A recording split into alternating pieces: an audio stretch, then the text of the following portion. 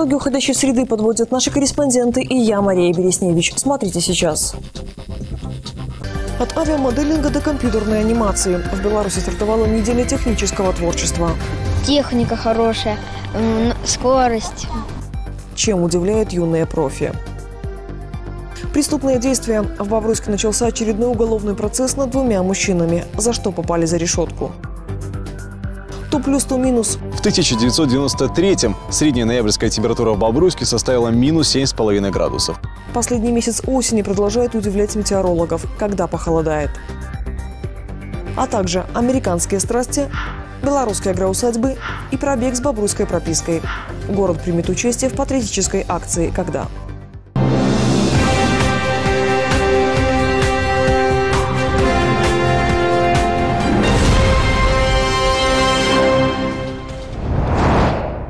Насилие либо угроза применения физической силы к сотруднику правоохранительных органов. В Абройском суде стартовал процесс. Обвиняются двое. В чем суть дела? С подробностями Максим Кембель. В суде Бобруйска начался процесс по делу о нападении на сотрудника органов внутренних дел. Статья 364 Уголовного кодекса Беларуси. На скамье подсудимых двое мужчин.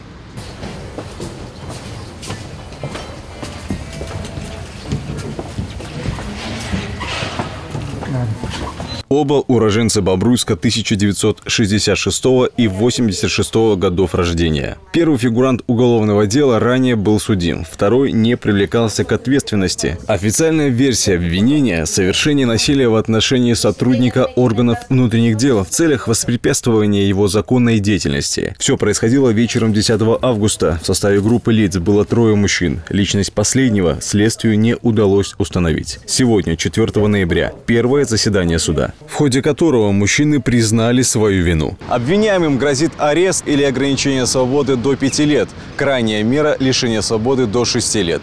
Максим Кембель, Максим Галеонко, Бобруйск, 360. В Беларуси выздоровели выписаны 88 701 пациент с COVID-19. Зафиксированы 102 313 человек с положительным тестом на коронавирус. Всего проведено 2 миллиона 573 132 исследования. Такие данные приводит Минздрав. Ведомство рассказало о подготовке Могилевской области ко второй волне. Так, в поликлиниках и больницах региона работает более 4800 врачей свыше 13 тысяч среднего медперсонала. Во всей области организованы дополнительные точки подачи кислорода. Если в мае в стационарах их было 1028, то теперь 1551. Создан и фонд, включающий более 400 наркозно-дыхательных аппаратов и ИВЛ. Компьютерная томография доступна в Могилеве, Бобруйске, Кричеве, Осиповичах. Обследоваться методом ПЦР в Бобруйске можно в зональном центре Центре гигиены и эпидемиологии, а также роддоме. Распоряжение криптовалютой, местные красоты и преждевременные деньги. Белпочта досрочно выплатит пенсии и пособия. С чем это связано? Громкие заголовки дня далее в специальном обзоре. Белпочта организует досрочную выплату пенсии и пособий за 5-9 ноября. Такая информация размещена на сайте организации. Там же опубликован и график преждевременной выдачи пенсии в регионах. 7 числа будут работать только дежурные отделения связи. Подробности можно узнать в контакт-центре по номеру 154. В Беларуси расширяются возможности использования криптовалюты. С 1 января следующего года для юрлиц и индивидуальных предпринимателей снимаются ограничения по расходованию электронных денег, которые имитируются белорусскими банками. Ими можно будет распоряжаться в рамках своей деятельности на цели, не запрещенные законом. Белавия не будет летать в Ригу и Таллин как минимум до середины декабря. Эти меры введены из-за ситуации с коронавирусом. Самолеты белорусского авиаперевозчика пока не будут совершать полеты во все пункты России. Рейсы в Ашхабад отменены до 1 января следующего года. Помимо этого, Белавия не будет отправляться в аэропорты Будапешта и Валматы до 27 марта.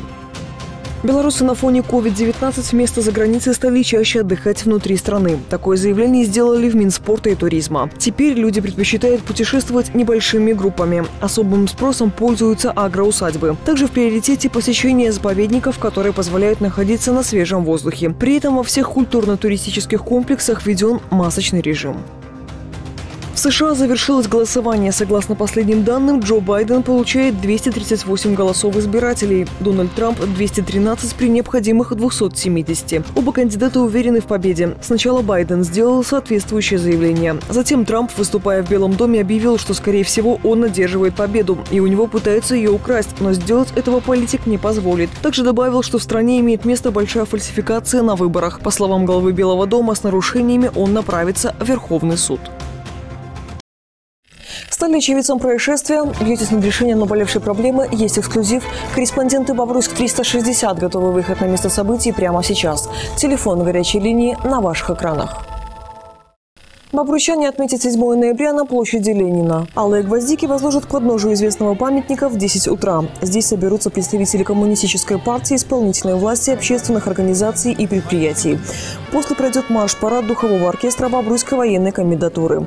Затем стартует городской автопробег за единую Беларусь. Курс на мемориальный комплекс сборки в Кировском районе. В патриотической акции примут участие неравнодушные к судьбе страны жители. Юность, интеллект, будущее. Ежегодная неделя технического творчества стартовала в Беларуси. Ребят традиционно знакомят с кружками и приглашают на занятия. Бобруйске юным дарованием предлагают 10 технических секций от авиамоделинга до компьютерной анимации.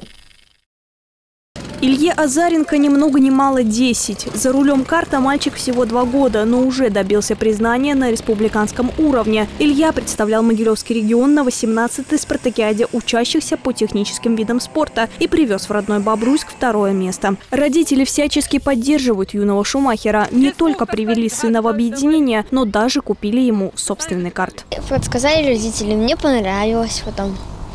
Я начал заниматься так. Техника хорошая, скорость.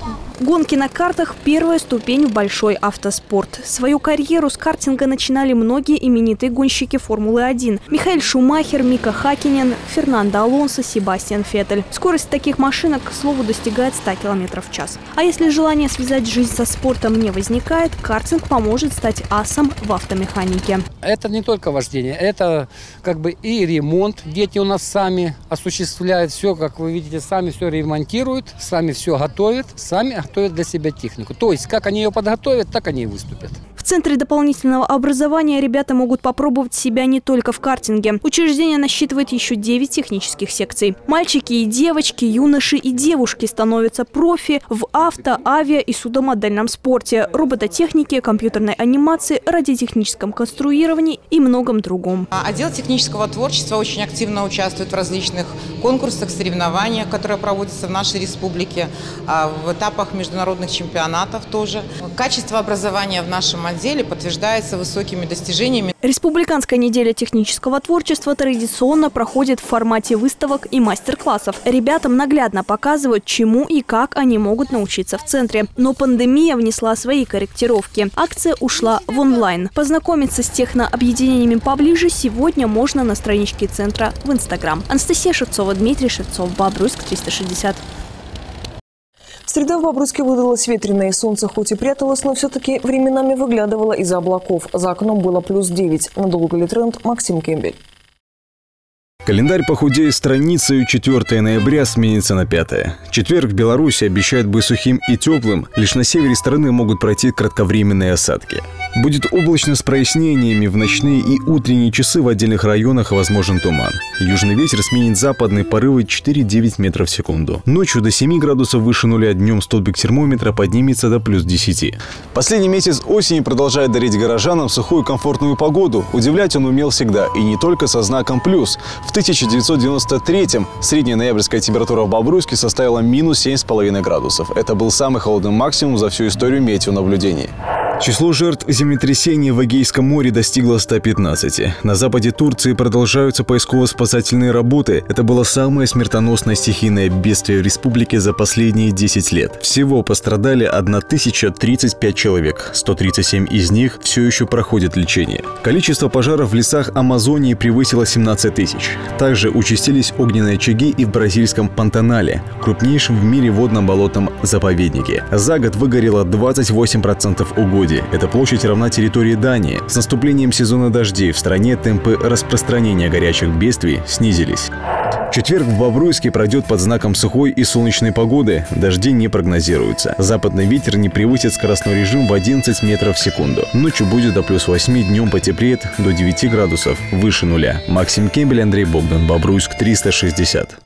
Сразу после нас Сирена, моя коллега Анастасия Шевцова с обзором громких криминальных новостей недели. Не пропустите. Это все и события к этой минуте. Следите за новостями в интернете и соцсетях. Мы в эфире каждый будний вечер. Счастливо.